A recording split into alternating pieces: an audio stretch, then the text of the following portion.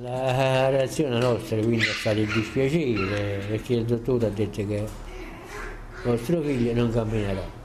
Abbiamo incominciato a fare quella terapia che ci hanno prescritto, però è incominciato a peggiorare. Loro erano convinti che facendo quelle terapie camminava, invece no. Mi tempo la vita è stata un po' amara, perché tu avendo un dispiacere di questo, quindi non sei bello tranquillo e felice. Cerchi sempre avanti, di andare avanti, di andare avanti, ma purtroppo non abbiamo fatto niente. Quello che abbiamo voluto fare l'abbiamo fatto, a fare sempre terapia e questo è tutto. Adesso pure i dottori hanno provato pure qualche terapia, perché dice che non ha bisogno più, non lo so. Un cristiano da morire, terapia già la faccio. Allora fai una seringa, facci tu morire. Ma tu se non fai terapia, peggiori a me mi fai peggiorare. Abbiamo fatto sempre battaglia con i dottori, loro, che poi già si vede quando hanno questa terapia, capito? La logopatia. Già che non beve più buone, una biancoia buona, quindi è una cosa importante. Loro l'hanno tolto, poveri, ma che hanno a fare? Comunque sono andata in coma per otto giorni. Questo è tutto. Ti ho detto tutto. Eh, come proseguite così tutta la vita? È andata sempre così. I primi tempi sono stati terribili come eh, gli ultimi, cioè i giorni d'oggi. Non gli ultimi perché gli ultimi non li conosciamo. Eh. E quindi è stata sempre così, è andata sempre così per 43 anni. Io ho lottato, ho combattuto per Roma, per Napoli, per Caserta e anche a casa ho dovuto affrontare dei problemi. Ed è molto serio questa cosa, è molto importante dirla. I primi passi sono stati molto, molto difficili perché eh, io avevo 26 anni e non avevo questa esperienza. E non avevo chi mi aiutava nemmeno a casa.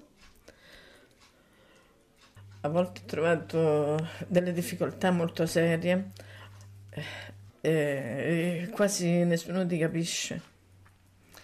Poi di tanto in, cioè ogni anno Emilio deve essere rivisitato a Caserta, all'ASL per vedere se, per confermare la sua, la sua malattia. Che poi se è il caso che Emilio uh, fa come, come Lazzaro alza e cammina, toglieranno la pensione, ma magari la togliessero perché Emilio camminasse. Eh. Non mi interessa eh. della pensione, a me non mi interessa proprio. E che vogliono togliere anche l'accompagno, ma eh, se Emilio fosse una persona che mangiasse da solo, andrebbe in bagno da solo, eh, eh, bevesse da solo, eh, quanto le proteine il naso, la testa, le mani, eh, qualsiasi cosa, il viso, e lo farebbe da solo, non dipendesse da me. Si prendesse anche tutto, la pensione, l'accompagno, a me non mi interessa di eh, cederlo, perché Emilio stia bene. Che un, una mattina eh, ho scoperto che aveva una febbre aveva la febbre molto alta, ho chiamato il medico. Il medico mi ha detto che eh, si trattava di una bronchite. Allora per tre giorni mi ha curato questo bambino e alla fine della febbre, eccoci qua. Questa è la vita. Non era una febbre, ma era una meningite. È molto grave. Ed eccoci qua. Allora Emilio, eh, io per tenerlo sempre impegnato, l'ho portato all'asilo, l'ho portato alle scuole elementari e ha fatto anche le scuole medie. Riusciva a scrivere, riusciva a leggere, riusciva anche a parlare bene. Se non che poi mano a mano la malattia si è aggravata e è andata avanti e abbiamo finito tutto. Allora, alla mattina viene una signora e mi viene ad aiutare ad alzarlo, a pulirlo, a lavarlo tutto per bene, eh, cambiarlo tutte le mattine, lavargli i capelli, tutto quanto. Dunque al momento eh, della pappa Emilio deve essere imboccato sia a mangiare sia a bere eh, adesso le hanno tolto la logopedia e si butta tutto addosso perché non fa più eh, massaggi, non fa più altro. Siccome andiamo a fare terapia, fisioterapia, e vicino c'è una villetta, vicino a questo istituto.